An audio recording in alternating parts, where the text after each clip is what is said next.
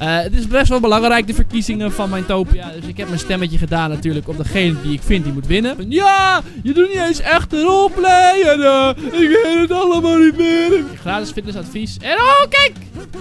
Een kerstmannetje.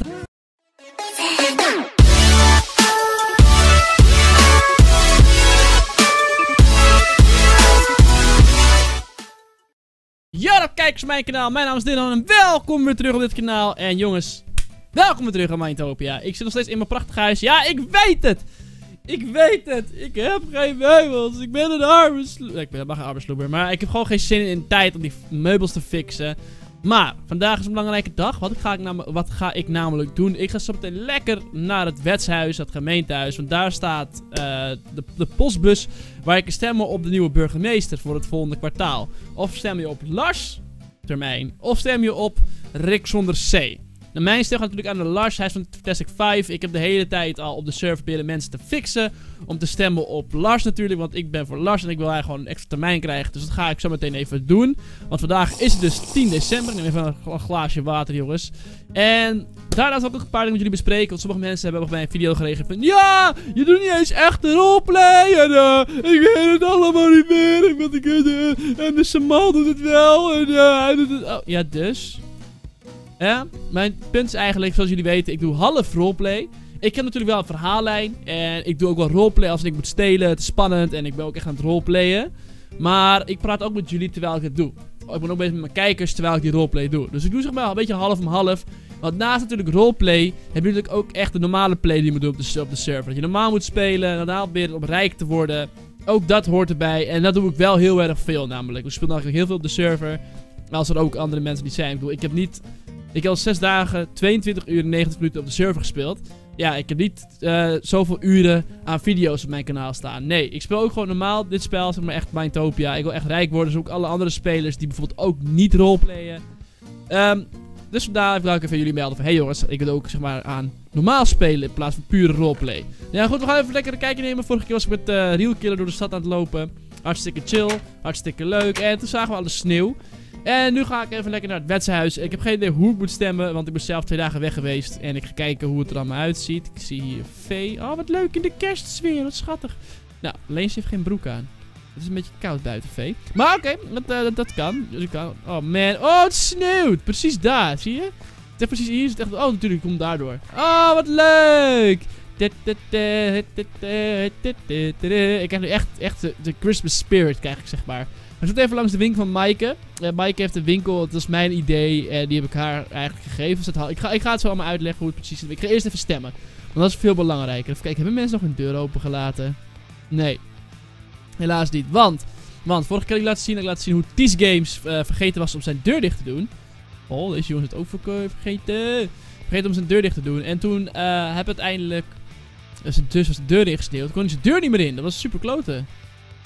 Kerstboom en twee maanden. Oh, wat leuk. Kerstboom halen. Misschien kerstboom halen van de Red Light. Maar goed, we gaan het later doen. En toen had hij vergeten, dus echt, uh, was het ingesneeuwd, kon hij zijn deur niet meer in. Wat er dus gedaan is, nu heeft dus iemand, Maaike, die kwam met het idee, hey, ik ga sneeuwscheppen verkopen. Dat houdt in dat mensen hun deur ingesneeuwd zijn, dat ze een schep kunnen kopen. En dan kunnen ze het laten wegscheppen.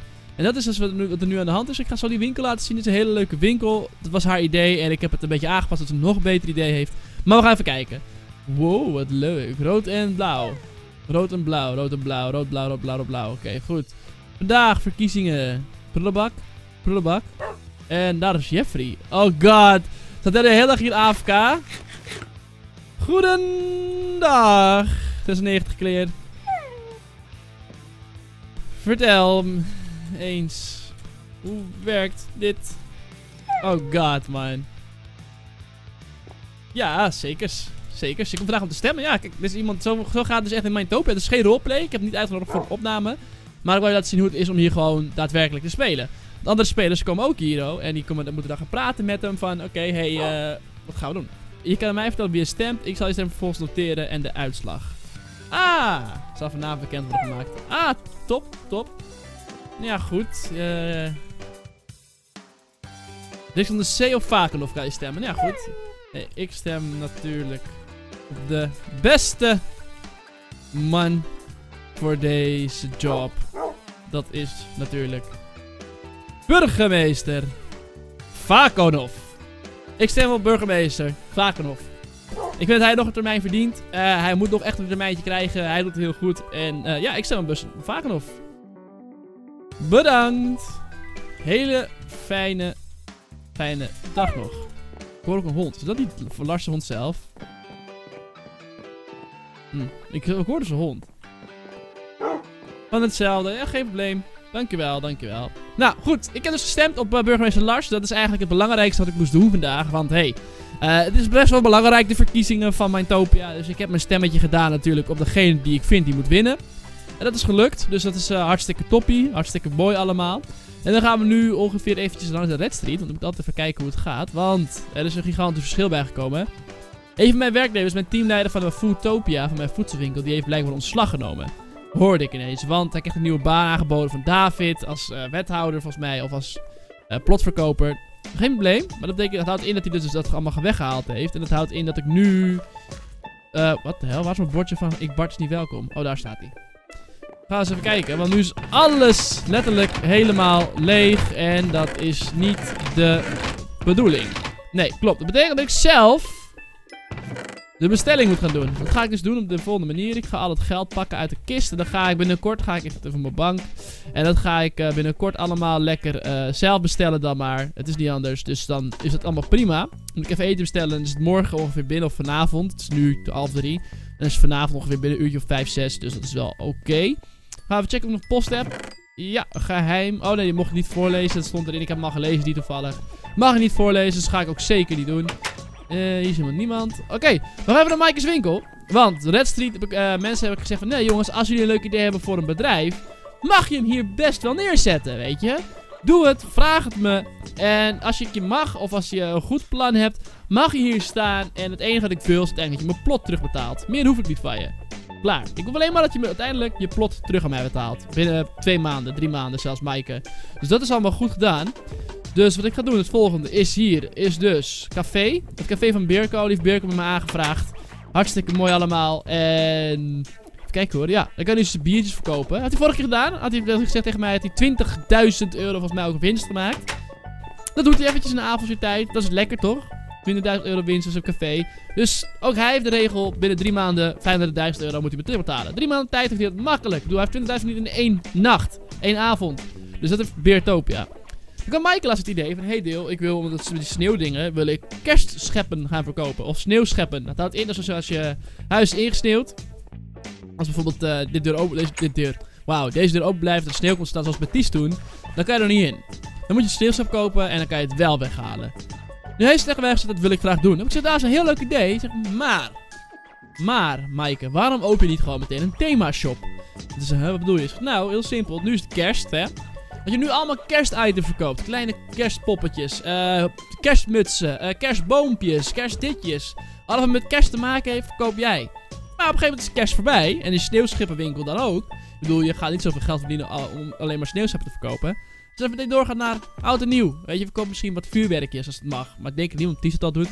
Maar misschien uh, slingers en toeters en belletjes, weet ik veel. Alles wat met, met dat te maken heeft eigenlijk met nieuwjaar. Verkoop je dat. Hartstikke leuk. Lichtballetjes.